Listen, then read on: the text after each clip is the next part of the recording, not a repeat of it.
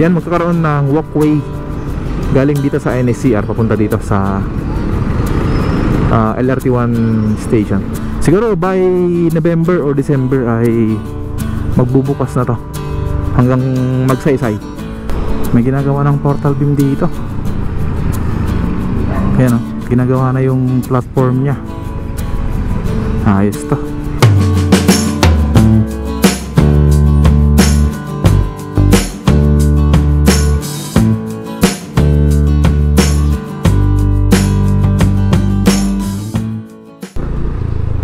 So, bali ngayong araw ay mag-update tayo dito sa Connector Road. Bali itong Connector Road ay mayroong haba na mahigit 8 kilometers. Nahati ito ng dalawang hati. Yung section 1 tsaka section 2. Try natin ulit ah, dumaan sa may ilalim ng Dimasalang Bridge. Kasi sa parte na to ay nilalagyan na ng bakod sa may gitna niya. May bakod na dyan. oh. Yan, ito yung bakod niya. Ito natin ipasok dito kung pwede. Yung bakod niya pala ay medyo mataas din, nasa 6 feet yata yan. Yan o. Ah, mataas-taas din yan. Tapos dito sa parte na to, yan, sa may kaliwa natin ay yan yung tatamaan ng NSCR. Dami niyan, bahay na yan. Thank you. So, pwedeng dumaan dito. Ayan, pwede nang dumaan. So, ganito yung sitwasyon dito sa ilalim ng connector road sa may Antipolo Street sa ilalim niya. Yan, malapit sa Dimasalang at Leonor Rivera yan na yung Leonor Rivera sa may unahan natin. Ah, maraming pa rin mga sakyan dito na nakaparada. Sa puntahan natin silipin natin to itong NSCR Blooming bago tayo bumalik doon sa may bandang papuntang Pandakan. Alright.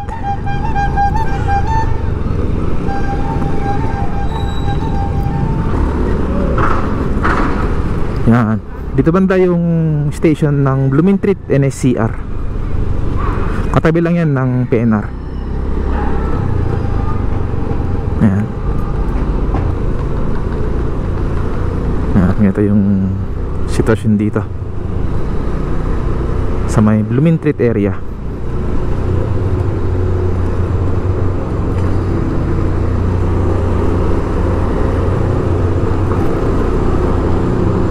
marami ng ano dito mga nalinis na area. Mukhang inumpisan ng linisan dito para yung pag construct ng station ay mabilis na lang. Yan o lalaki ng mga poste ng connector road. Yan yung pader na yan ay bagong bago pa yan. Yan o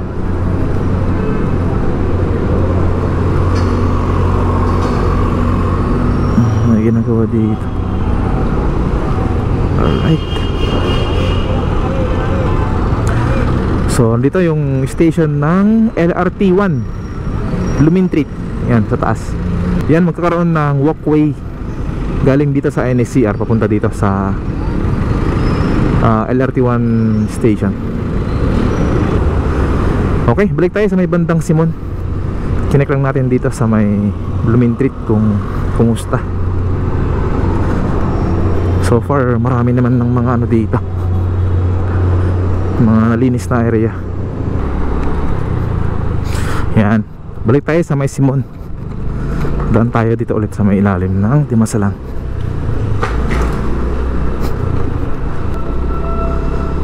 yan. Dito ay kaliwa tayo.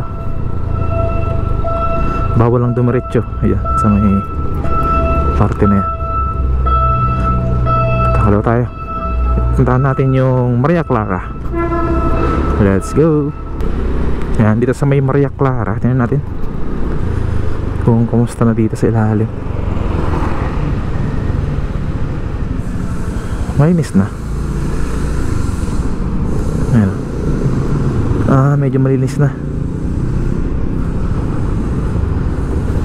Okay. Okay, madamo na yung gilid ng release. So, proceed tayo sa may laon-laan. So, i-update natin mula Dimasalang hanggang dun sa may Pandakan. Let's go! Kaliwa tayo dito sa may laon-laan.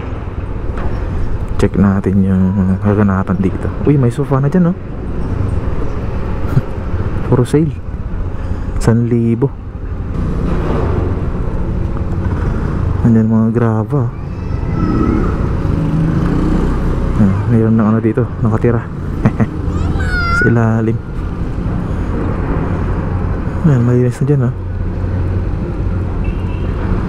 Nandiyan kasi yung office nila, kaya yung may ibang gamit dyan ay meron pa. Alright.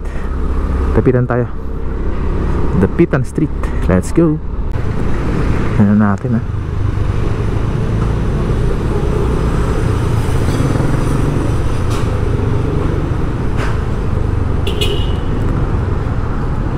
Papuntang Pandakan tayo. Bali, chinecheck lang natin yung ilalim niya kung kumusta. Ano? Medyo okay naman na yung ilalim.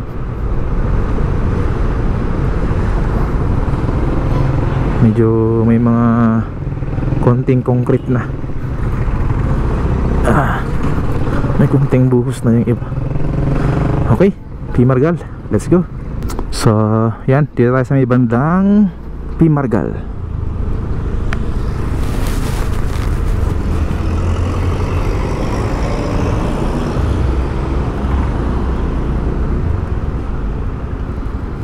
Yan, ito yung release ng trend dito sa may P. Margal. Katabi lang to ng Antipolo Street dito sa ilalim ng Connector Road dito sa ilalim.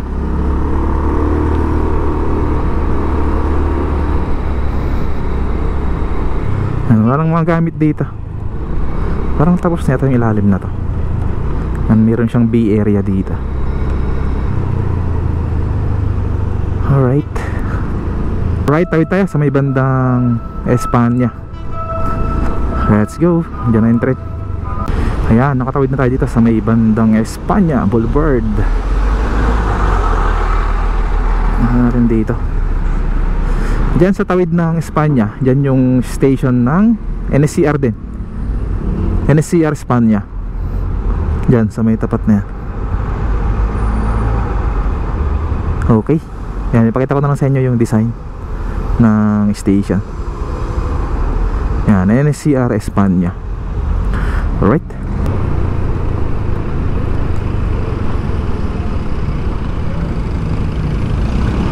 Yan, dito sa may Loyola. Try natin kumanan dyan kung pwede. Oops. Parang bago.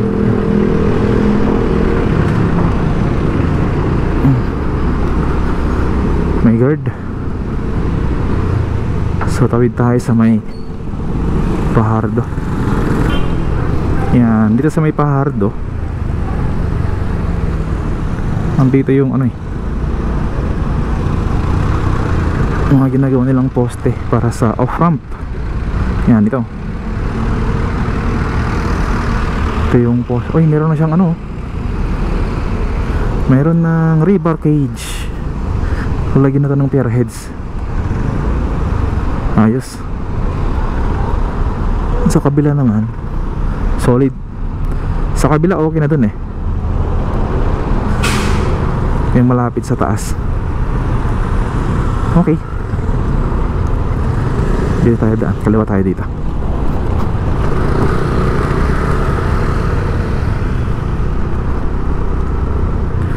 Yan, sa area na to Ah, mula sa Pahardo hanggang dito sa may malapit sa Gitwason ay kompleto na as per checking sa drone. Halos meron ng lahat uh, girders yan yung iba ay nilalagyan na lang ng platform para mabuhusan na. Yan o oh. yan meron lang isang ano dito isang span na bakante na para connected na hanggang Gitwason So check natin yan Yan o oh. Kabi kabila yung ano dito Construction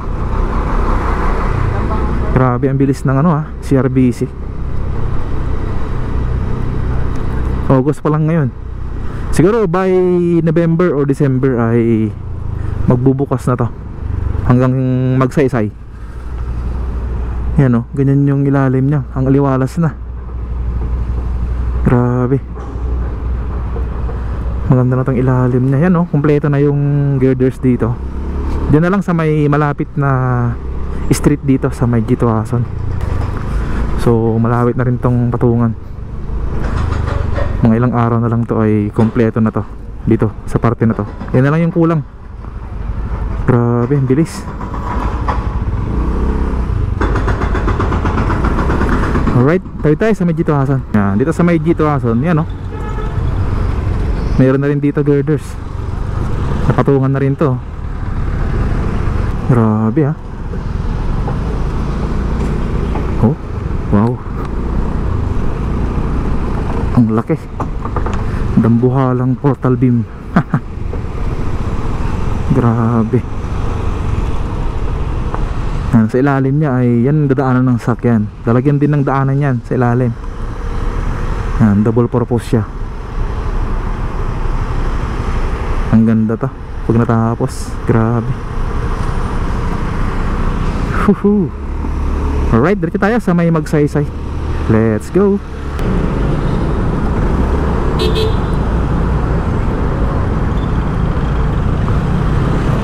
Yeah, alright.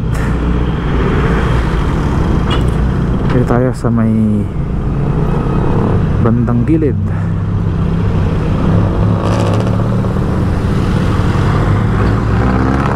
Yan, ito yung mga steel girder dito. Yan, gagamitin dito sa may gitna. Sa may ilalim ng LRT2.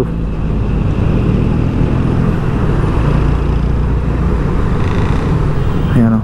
Ito naman yung poste niya. Tingnan natin ha kung okay na to. Yun, nagbubuhos na sila. Mayroon ng ano, pipe na ginagamit. Diyan din oh. Itong plus na pier heads dito. Malapit na rin buhusan yan. Halos kompleto na yung ano, yung rebar. Sana ay mabuhusan na. Yan, dito ay hindi pa ganong gumagalaw dito eh. Kasi dito yung imbakan nila ng mga gamit. Yan. Alright, tayo tayo sa kabila. Let's go.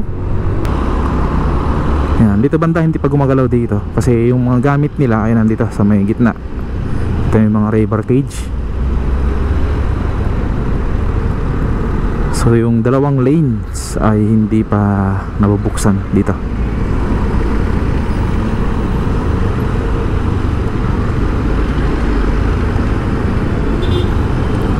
Diyan no, sa may gitna, yung ginagawang poste ay mayroon ng tubo na pumasok sa ilalim. So malamang binubuhusan na yung gitna sa ilalim. At malapit na rin siguro matapos yun or mabuo. Tapos ito na yung ano, dating poste ng NGCP. Yan.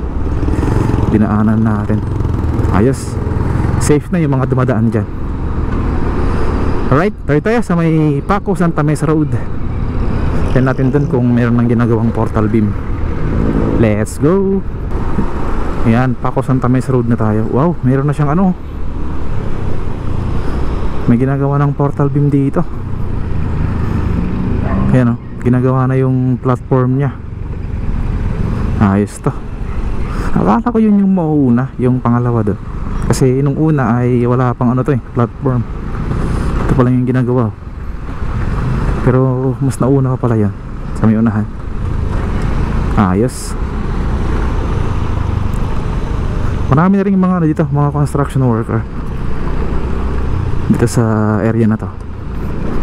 Kumpara last time na konti.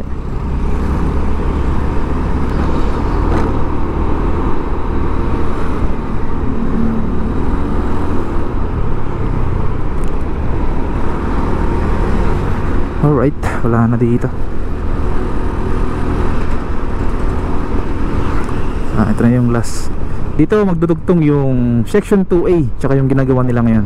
So sa mga nagtatanong dun sa comment section last update natin ay hanggang dito lang yung ano yung RCBC tapos yung kukonekta dyan sa may Skyway Stage 3 ay part na yan ng Section 2A Ah, SMC na yan gagawa dyan. Alright, so wala pa naman dito mga demolition at mga activity na nangyayari So dito ko natapos itong update natin mga kaibigan. Salamat sa pagsama sa akin dito. Sa dulo. At hanggang sa muli Ingat tayo lagi mga kaibigan. God bless po. Peace out